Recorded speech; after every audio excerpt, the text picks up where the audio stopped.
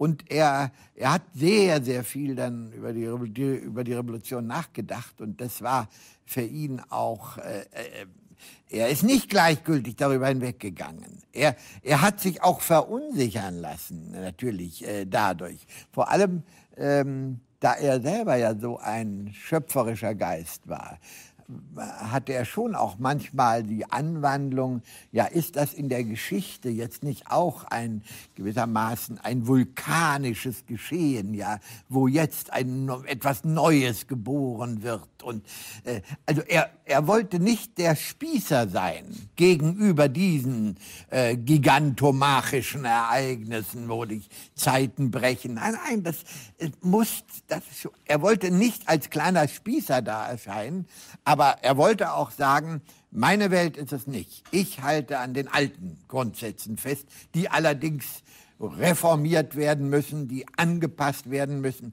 Er war ein Reformaristokrat, könnte man sagen, bürgerlichen Geschlechts. Jetzt könnte man ja sich mal spielerisch vorstellen, Goethe würde heute leben. Wie würde er sich Leben, dieser Mensch sich durchs Leben bewegen? Haben Sie sich das schon mal überlegt, wie Goethe heute mit der Zeit zurechtkäme? naja, wenn, wenn er heute, ja eben, man hat wirklich die Schwierigkeit, äh, man kann es sich kaum vorstellen, ja, so eine Figur, äh, er würde es irgendwie schaffen, äh, sich Raum zu schaffen. Goethe hat so viel Raum um sich herum.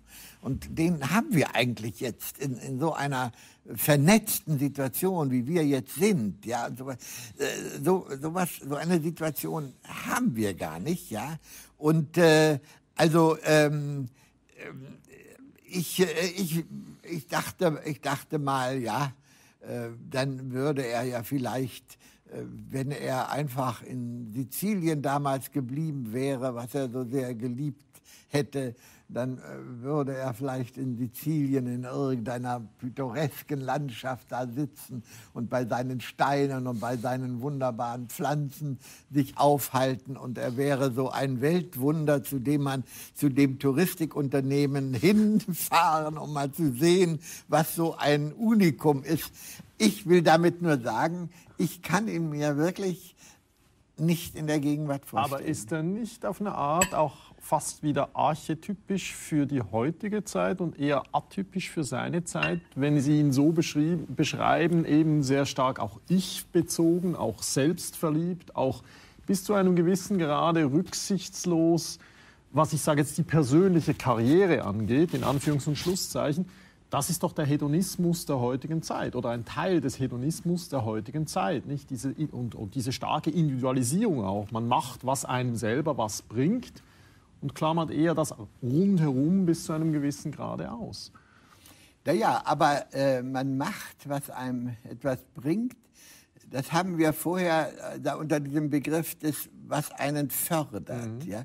Und was einen fördert, ist eben bei Goethe nicht einfach nur, was einem gefällt, ne? was einem, was, was bequem ist oder was in diesem Sinne hedonistisch ist. Mhm. Nein, dazu war Goethe einfach zu sehr auf seine Aufgaben, etwas zu machen ja, etwas zu machen, was dann auch vor aller Augen steht, ja. Der wollte nicht im Privaten irgendetwas wegkonsumieren und weggenießen, sondern er wollte schon, es immer, es sollte irgendetwas dastehen. Aber ja? Goethe ist, hat überlebt wegen seinem Övre, wegen seinem Schriftstellerleben und nicht wegen der Reform des Bergbaus, nicht? So ist es.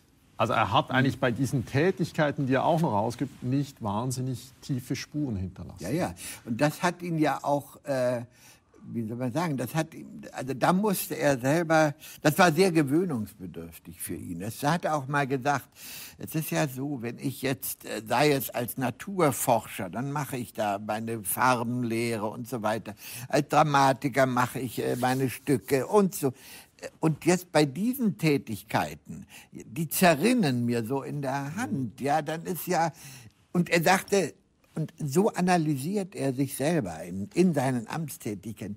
Da fehlt mir, sagt er, dieses werkhaft, ergebnishafte, dass man wirklich, wenn doch dann wenigstens auch die Straßen nach Weimar auch alle äh, wirklich äh, wollte er ja, dass die, dass die alle schön wiederhergestellt werden und dass man sagen kann, so, äh, endlich liegt Weimar nicht, äh, die, die heimliche Hauptstadt der Kultur liegt endlich nicht verkehrstechnisch im toten Winkel, sondern so, wenn doch so etwas zustande käme, das wäre doch wirklich toll. Und dass sowas in diesen Tätigkeiten so kaum oder wenig möglich ist, das war für ihn immer ein Problem. Und trotzdem hat er es gemacht. Mhm. Also er ist irgendwo auch ein bisschen an der Realität dann gescheitert. Ja, an, der, an der Struktur dieser, natürlich. Ja. Wir müssen, äh, man sagen, er als, ähm, als Verwaltungsmensch, als Minister in Weimar, da hat er sicher keine bleibenden Spuren hinterlassen. Aber äh, wenn wir mal vom Theater und so mhm. davon mal absehen, ja. Ähm, aber er, er hatte ähm, er hatte auch auf dem, auf dem politischen Feld äh, sehr fruchtbare Ideen, die, äh, die leider nicht so ganz zum Zuge kamen. Nicht, dass er äh, sich also zum Beispiel damals vorstellte, äh, Weimar, äh, das Herzogtum wird zerrieben von den großen Blöcken Preußen hier und Habsburg dort. Und man muss eigentlich jetzt einen Fürstenbund der mittelgroßen oder und kleinen Staaten bilden. Das war so seine politische Idee. An der hat er dann auch sehr intensiv so herumgedacht äh, und äh, gut, äh, Gutachten geschrieben und so weiter. Aber es kam dann auch nicht richtig dazu, ja. Das ist eben, dann sagt er manchmal, ja, das ist, was ist das? Das ist der Dünenschutt, der Dünenschutt, sagt der Dünenschutt der Geschichte. Ja, deckt das alles wieder zu. Und trotzdem, sagt er dann, müssen wir die Aufgabe anpacken. Herr Safranski, Sie haben sechs Jahre an, Sie haben sechs Jahre an diesem Buch gearbeitet. Das ist beinahe ein Zehntel oder ein Elfter Ihrer Lebenszeit haben Sie Goethe gewidmet. Wenn man sich auf so etwas einlässt, muss man sich, das muss wohl überlegt sein. Haben Sie sich je die Frage gestellt, halte ich es mit diesem Goethe sechs Jahre aus? Naja, das ist wohl wahr. Das muss man sehr gut überlegen, weil, weil es eigene Lebenszeit ist.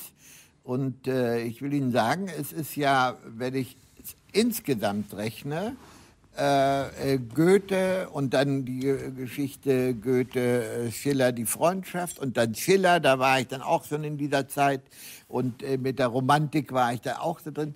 Insgesamt ist es eine erhebliche Zeit meines Lebens die ich äh, dort verbracht habe. Und ähm, ich habe dann auch manchmal so das Gefühl, dass ich die Leute dort irgendwie besser äh, kenne als manche Lebenden. Ja?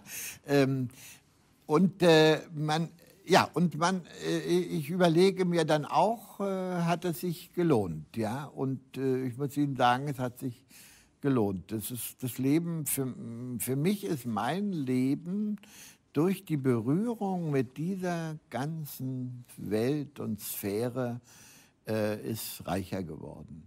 Und äh, ich meine, das müssen wir uns ja auch mal klar machen. Die, Gottlob, äh, ist unser Geist so, dass wir wirklich geräumiger sind als nur das, was wir jetzt gerade ausfüllen. Wie wunderbar es ist, dass wir teilhaben können äh, an so einer Welt von 1800, äh, um 1800. Und jetzt, man kann nicht so direkt sagen, ja, aber was ziehst du für dich selbst rüber? Äh, so läuft das meistens auch nicht, sondern man ist, äh, man bekommt Raum und man bekommt eine, eine lebendig, man nimmt teil an einer Lebendigkeit, die ist wirklich, äh, die hat auch was Beglückendes, ja die hat auch was Beglückendes.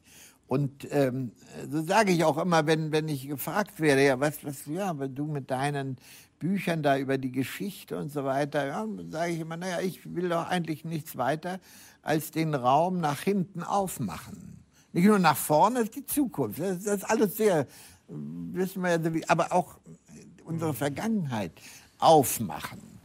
Und als ich äh, mich äh, anfing mit, den, mit dieser Zeit um 1800, das war ja eigentlich auch mit dem, meinem ersten Buch mit E.T.A. Hoffmann, ähm, äh, ging es mir schon auch darum, wir haben ja in Deutschland nun wirklich das Problem durch den, äh, den furchtbaren Nationalsozialismus, dass wir zeitweilig die ganze Tradition äh, gewissermaßen immer so abgeklopft haben, äh, führte der Weg zu Hitler oder nicht oder wie. Also dass das immer die große Wegscheide ist und manche wie eine Feuerwand steht äh, da diese Geschichte zwischen 33 und 45 wie eine Feuerwand und wirkt und verdeckt diese, diese ganze großartige Geschichte, die da sonst noch da ist. Oder man guckt diese Geschichte an wie so ein Staatsanwalt. Wo gibt's gibt's da auch, gibt ja auch Bücher über, wie Hitler, äh, wie, wie Goethe,